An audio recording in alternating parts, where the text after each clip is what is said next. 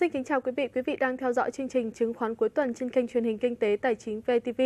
Thưa quý vị, quý 1 năm 2018, nhiều doanh nghiệp đã báo cáo kết quả kinh doanh với lợi nhuận ở mức cao. Vậy những ngành nào tăng trưởng tốt, ngành nào tăng trưởng kém? Phía sau những con số lợi nhuận là những khó khăn thuận lợi gì của các doanh nghiệp niêm yết? Chứng khoán cuối tuần tuần này sẽ đề cập đến vấn đề này với chủ đề cập nhật kết quả kinh doanh quý 1 năm 2018 của doanh nghiệp niêm yết.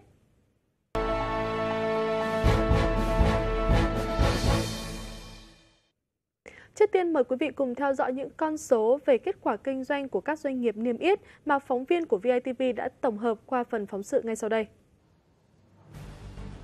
Phần lớn các nhóm ngành đều ghi nhận tăng trưởng tích cực, trong đó những ngành chiếm tỷ trọng vốn hóa lớn và có tính dẫn dắt đang dẫn đầu tăng trưởng như dịch vụ tài chính 66,2% với VCI, SSI, HCM, hàng dịch vụ công nghiệp 61,3% với VGC, PAN, GMD, bất động sản 57,3%, với VRE, VIC, DXG. Ngân hàng tăng 51,6% với VCB, ACB, MBB, thực phẩm và đồ uống tăng 22,8% với MSN. Ví dụ chúng ta có những cái khối ờ, doanh nghiệp chủ chốt trên sàn chứng khoán, như ngân hàng, chứng khoán đều ra báo cáo kết kinh doanh khá tích cực và đều đã tăng đều đã tăng tăng trưởng. Một số các ờ, doanh nghiệp đầu ngành, ví dụ như Hòa Phát, như FPT thì cũng tăng trưởng khá là tốt Lợi nhuận sau thuế quý 1 năm 2018 của 12 ngân hàng niêm yết tăng 51,6%, cao hơn so với mức tăng 36% trong năm 2017. Trong đó có những ngân hàng đạt mức tăng gấp 2 đến 3 lần như ACB, HDB, TPB và AIB. Cả các ngân hàng hàng đầu cũng đạt tăng trưởng ấn tượng như VCB tăng 58,7%. Do tỷ trọng lớn chiếm 1 phần 3 tổng lợi nhuận toàn sàn, tăng trưởng của ngành ngân hàng có ảnh hưởng lớn đến tăng trưởng chung. Nếu ngoại trừ ngành ngân hàng, tăng trưởng chung chỉ đạt 13%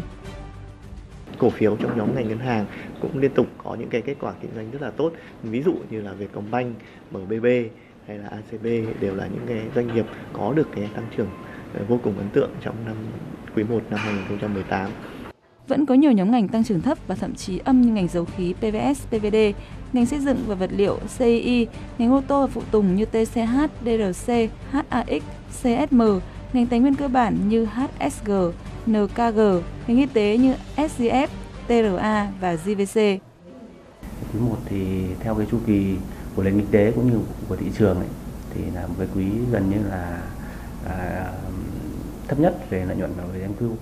Với một số cái ngành khác, ví dụ như là ngành à, thủy điện chẳng hạn thì quý 1 cũng là một cái quý rất là thấp điểm.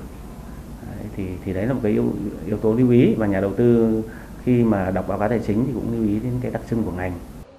Tuy vậy, những nhóm ngành cổ phiếu vốn hóa lớn và có tính chất dẫn dắt thị trường, giá cổ phiếu lại sụt giảm mạnh trong thời gian vừa qua.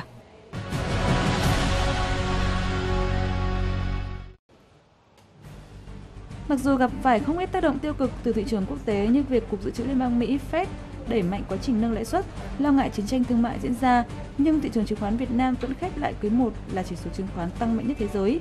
Bỏ xa thị trường đứng thứ hai là Ai Cập với mức tăng 15,52%. Sau tháng gần nhất, Vendex cũng giữ ngôi quán quân với mức tăng lên tới 46%. Trước đó năm ngoái, Vendex cũng lọt vào nhóm 3 chỉ số chứng khoán tăng mạnh nhất thế giới. Sự kỳ vọng này có thể hiện có thể thấy là cũng rất là tương đối lớn nó tăng trưởng lớn hơn rất nhiều so với tốc độ tăng trưởng kinh tế của Việt Nam đã đạt được à, chính vì thế việc chốt lời của khối nhà đầu tư à, là một yếu tố có thể dễ dàng hiểu được chúng ta có thể thấy là trong cái nhịp điều chỉnh vừa qua thì nhóm cổ phiếu vốn hóa lớn mà trước đó là nhóm cổ phiếu tăng điểm mạnh nhất thì lại là chính là cái nhóm điều chỉnh sâu nhất trong cái giai đoạn vừa qua. Thì cái nguyên nhân thì có thể là do một vài cái yếu tố ở đây mà chúng ta có thể xét đến là đầu tiên là có nguyên nhân đến từ cái hiệu ứng là tin ra là bán. Khi mà có rất nhiều doanh nghiệp, đặc biệt là nhóm cổ phiếu ngành ngân hàng và chứng khoán có kết quả kinh doanh tích cực và đã tăng điểm trước đó và đã phản ánh hết vào cái kết quả kinh doanh tích cực của quý 1 và khi mà kết quả kinh doanh chính thức được công bố thì lại là chính là những cái nhóm cổ phiếu điều chỉnh rất là sâu. Bên cạnh đó, trong quý 1, chứng khoán Việt Nam cũng đón nhận làn sóng lên sàn của các doanh nghiệp lớn, có thể kể tới như HD Bank, Lộc Dầu Bình Sơn, PVI, PV Power, khiến thị trường có thêm nhiều hàng hóa chất lượng, thu hút sự quan tâm của giới đầu tư. Tình hình kinh doanh của các công ty cũng rất là khả quan, dòng vốn ngoại vẫn tiếp tục đổ vào thị trường. Số lượng tài khoản của các nhà đầu tư nước ngoài mở mới trên thị trường tăng rất là mạnh. Hy vọng rằng năm 2018 sẽ là một năm gọi là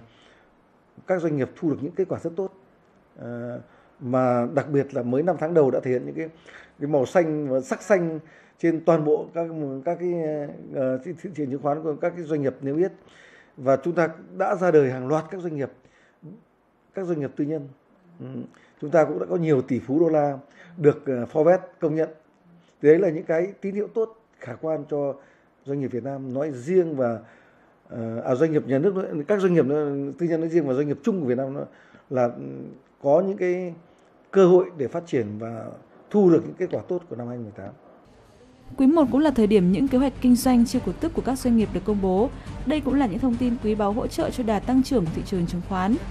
Ngoài ra, một yếu tố không thể không nhắc đến là sự hỗ trợ của dòng tiền ngoại. Sau khi mua dòng kỷ lục hơn 26.000 tỷ đồng trong năm ngoái, khối ngoại tiếp tục mua dòng hơn 10.000 tỷ đồng cổ phiếu chứng chỉ quỹ trên toàn thị trường trong quý 1. Đây cũng là con số lớn hơn rất nhiều so với cùng kỳ hàng năm. Qua phần tổng hợp vừa rồi, chúng ta có thể thấy rằng kết quả kinh doanh quý 1 năm 2018 khả quan đã đem lại hưng phấn cho thị trường. Qua những con số đó, chúng ta cũng có thể thấy được một bức tranh toàn cảnh của nền kinh tế Việt Nam. Vậy những yếu tố nào đã tác động và hỗ trợ cho hoạt động sản xuất kinh doanh của các doanh nghiệp trong thời gian vừa qua? Mời quý vị tiếp tục theo dõi phóng sự ngay sau đây. Mới đây, tại Hội thảo Triển vọng Kinh tế Việt Nam năm 2018 tầm nhìn đến năm 2020 vừa được KPMG tổ chức ngày 15 tháng 5, Bộ trưởng Bộ Kế hoạch và Đầu tư ông Nguyễn Chí Dũng nhấn mạnh sự phát triển khả quan của nền kinh tế Việt Nam trong quý 1 năm 2018 là kế thừa sự tăng trưởng tích cực trong năm 2017. Nền kinh tế Việt Nam nói chung trong quý 1 năm nay đã đạt được nhiều bước tiến lớn. Kết quả phát triển kinh tế xã hội những tháng đầu năm 2018 là hết sức khả quan. Đó là tiếp nối được cái đà phát triển của năm 2017 và tốc độ tăng trưởng GDP của quý 1 đạt 7,38% và cũng là cái mức cao nhất của quý 1 trong 10 năm trở lại đây. Kinh tế vĩ mô thì tiếp tục được duy trì ổn định, lạm phát thì trong tầm kiểm soát, thị trường tiền tệ và hệ thống ngân hàng ổn định, thanh khoản toàn hệ thống được đảm bảo. Đây là những tín hiệu ờ, đáng mừng, nhất là trong bối cảnh trong nước và quốc tế cũng đang còn ừ, đang có nhiều yếu tố thuận lợi và tác động tích cực đến nền kinh tế.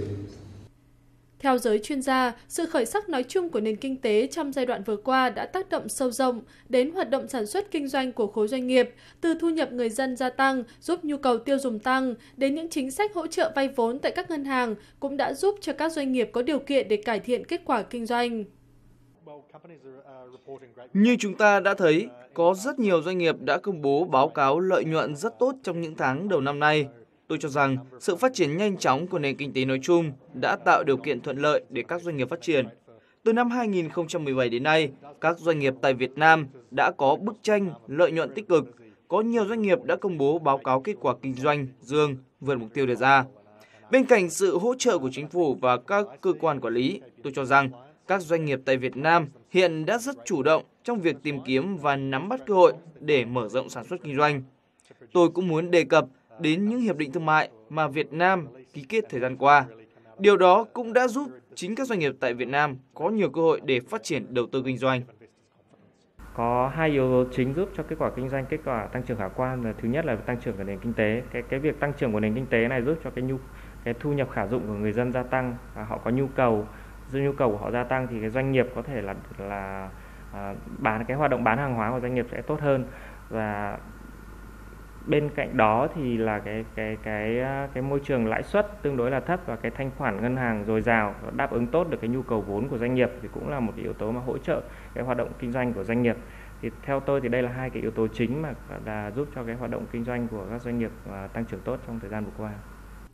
Nhìn vào kết quả kinh doanh của các doanh nghiệp, có thể thấy lợi nhuận tăng trưởng tập trung vào nhóm các doanh nghiệp thuộc lĩnh vực tài chính ngân hàng. Đối với các ngân hàng, các chuyên gia cho rằng những nỗ lực tái cấu trúc hệ thống ngân hàng đã giúp các ngân hàng xử lý được các vấn đề yếu kém và quan trọng nhất là giảm được gánh nặng nợ xấu. Điều đó giúp bức tranh lợi nhuận của các ngân hàng được cải thiện rõ rệt. Còn đối với các công ty chứng khoán, sự tăng trưởng bứt phá của thị trường chứng khoán Việt Nam hồi cuối năm 2017 chính là tiền đề để các công ty chứng khoán đẩy mạnh các nghiệp vụ kinh doanh chứng khoán, đem lại khối lợi nhuận lớn. Các doanh nghiệp niêm yết thể hiện một cái sự tăng trưởng, đặc biệt là ở trong nhóm cổ phiếu ngành tài chính ngân hàng thì nhóm này được hưởng lợi thứ nhất là à, nhóm ngân hàng nói trước thì là được hưởng lợi từ quá trình tái cấu trúc à, nợ xấu và trích lập dự phòng sau khi hoàn tất dự phòng thì cái mức lợi nhuận của các à, ngân hàng này đã có, đã có sự cải thiện đáng kể. À, cộng thêm với cái sự phục hồi của cả nền kinh tế nói chung lẫn các doanh nghiệp nói riêng và nó đã tạo ra một cái sự hồi phục về lợi nhuận của nhóm ngân hàng. Trong khi đó nhóm cổ phiếu chứng khoán thì được hưởng lợi trực tiếp từ cái việc tăng trưởng của thị trường kể cả về quy mô và điểm số. Việc tăng trưởng về quy mô thì là về thanh khoản thì đã giúp cho cái những cái phí như là phí giao dịch hay là những cái phí tư vấn à, được gia tăng đáng kể. Trong khi đó thì cái tăng trưởng về điểm số của thị trường và các cổ phiếu đã tạo ra một cái Ờ, chênh lệch giá đối với trong danh mục tự doanh và nhóm này là cái nhóm ấn tượng nhất trong cái quý 1 vừa qua. Có thể thấy rằng có nhiều yếu tố khác nhau từ kinh tế vĩ mô đến chính sách hỗ trợ tạo điều kiện thuận lợi đã giúp nhiều doanh nghiệp có được kết quả kinh doanh khả quan trong quý 1 năm 2018. Nếu những yếu tố đó tiếp tục được duy trì và phát huy, kỳ vọng sẽ có nhiều doanh nghiệp hơn nữa báo cáo kết quả kinh doanh tích cực trong cả năm 2018. Để có cái nhìn tổng quan hơn về bức tranh hoạt động của các doanh nghiệp niêm yết trong quý 1 năm 2018, phóng viên của VITV đã có cuộc trao đổi với ông Đặng Quyết Tiến, Cục trưởng Cục Tài chính Doanh nghiệp thuộc Bộ Tài chính. Mời quý vị cùng theo dõi. Xin cảm ơn ông đã tham gia cuộc trao đổi với kênh truyền hình VITV. À, thưa ông, ông có đánh giá như thế nào về kết quả kinh doanh của các doanh nghiệp niêm yết à, trên các sàn chứng khoán trong quý 1 năm 2018 vừa qua? Nó là kết quả của cả một năm 2017 khi chính phủ đã thực sự là đẩy mạnh trong vấn đề cải cách hành chính, hoàn thiện thể chế, tạo ra những cái xung lực về mặt ổn định kinh tế vĩ mô. Thế thì và chúng ta thấy rằng kết quả ờ, tăng trưởng kinh tế của chúng ta là quý 1 cũng là một trong những quý mà có cái tốc tăng trưởng cao trong nhiều năm qua. Như ông vừa chia sẻ thì kết quả kinh doanh của các doanh nghiệp niêm yết trong quý một vừa qua đã có cái sự khởi sắc hơn so với cùng kỳ năm trước. À, vậy thì à, ờ, những cái thông tin, những cái yếu tố nào đã cái hỗ trợ cho cái sự tăng trưởng của các doanh nghiệp ạ? Chính sách đã ổn định và nó là uh, thúc đẩy và rất nhiều những cái giải pháp về vấn đề phát triển nông nghiệp, công nghiệp cũng đã được chính phủ đưa ra. Đấy, nó tạo đà do cho nên là cái kết quả của thị trường là các doanh nghiệp là rất tốt. Cộng với là chúng ta thấy rằng là gì cũng là một trong những cái thuận lợi nữa là cái nền kinh tế của chúng ta phát triển tốt, nền kinh tế thế giới hồi phục. Dòng vốn nước ngoài tiếp tục đầu tư vào Việt Nam, cả dòng vốn trực tiếp và gián tiếp dẫn đến thị trường đã hồi phục nhanh. Đặc biệt nữa là các cái ừ, quyết sách lớn của chính phủ trong việc là thoái vốn cổ phần hóa doanh nghiệp nhà nước nó đã tạo xung lực để cho những doanh nghiệp mới lên sàn và những doanh nghiệp trên sàn đấy người ta sẽ được ờ, hưởng cái lợi của cái xu thế phát triển và hồi phục của thị trường. Sự tăng trưởng khá của các doanh nghiệp niêm yết các nhóm ngành trên các sàn chứng khoán à, đã có những cái hỗ trợ như thế nào cho cái sự tăng trưởng của thị trường chứng khoán trong thời gian vừa qua? Có thể nói là thị trường chứng khoán trong những tháng vừa qua đã thể hiện được cái cái sự tăng trưởng của nền kinh tế thể hiện sự phát triển cũng có nhiều chuyên gia nói nó đang phát triển nóng đó là cái chúng ta cũng phải cần lưu ý thế thì các doanh nghiệp niêm yết ở trên thị trường đạt kết quả tốt thì nó chính là cái tấm gương soi về cái điều hành kinh tế của chính phủ rồi điều hành thị trường và thể hiện một cái chính sách nó đúng đắn từ giờ đến hết năm 2018 thì sẽ còn những cái yếu tố nào sẽ có tác động à, đến kết quả kinh doanh của các doanh nghiệp niêm yết ạ? Từ nay đến cuối năm thì chúng ta cũng phải cần lưu ý này. Thứ nhất là gì? đối với Việt Nam chúng ta thì chính phủ vẫn chính phủ quốc hội vẫn kiên quyết là ổn định kinh tế vĩ mô tiếp tục cải cách mạnh giảm tục hành chính rồi thúc đẩy cổ phần hóa thoái vốn tuy nhiên thì chúng ta cũng cần lưu ý là gì? Diễn biến của của nền kinh tế thế giới với những cái mà bất ổn ở trên thị trường thế giới, đặc biệt là cái chính sách mà đơn cực hóa về thương mại của chính phủ Mỹ và việc nâng lãi suất của chính phủ Mỹ cũng sẽ tác động nhiều đến các cái doanh nghiệp niêm yết. Bởi khi nâng lên đấy thì cái dòng vốn nước ngoài có thể nó sẽ giảm. Và trong khi đấy là chúng ta vẫn đang còn nhu cầu lớn để trong việc huy động vốn vấn đề nữa thì chúng ta cũng nói là gì? Tiến độ cổ phần hóa và thoái vốn cũng phải rất quyết liệt. Trong quý một vừa qua thì là tương đối chậm. Mặc dù chúng ta cũng có những cái trường hợp là đã tiến hành IPO tiến hành thoái vốn thành công, nhưng chúng ta phải tiếp tục kiên quyết quyết liệt chỉ đạo thì cái dòng cung cho thị trường nó mới tăng. Thì nó mới hấp thụ, mới hấp thụ vốn ở trong ngoài nước vào thì nó sẽ kích thích cái thị trường nó phát triển tốt hơn và thực, quan trọng nhất là khi mà nhà nước cổ phần hóa khu doanh nghiệp nước là giải phóng nguồn lực thì để cho các thành phần kinh tế khác người ta có cái lực phát triển thì nó mới đồng đều được. Xin cảm ơn những chia sẻ của ông. Những thông tin vừa rồi đã khép lại chương trình chứng khoán cuối tuần tuần này. Quý khán giả có thể xem trực tuyến hoặc xem lại chương trình trên website vitv.vn và đừng quên cập nhật thông tin qua Facebook của kênh truyền hình VITV. Còn bây giờ xin kính chào và hẹn gặp lại quý vị trong các chương trình tiếp theo.